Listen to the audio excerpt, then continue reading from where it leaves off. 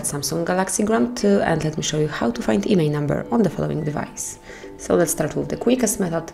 Let's open the phone dialer and then enter a secret code which is asterisk pound 06 pound. And here you've got the IMEI number of your Galaxy Grand. Click on OK to go back and now let's go to the second method.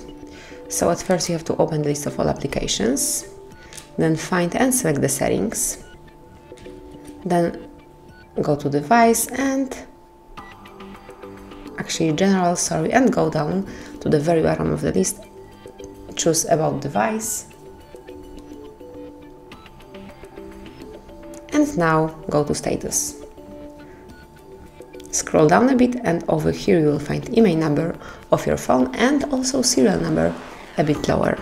So that's it. This is how you can locate serial number and IMEI number for your device.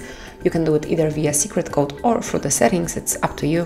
Thank you for watching, please subscribe our channel and leave the thumbs up.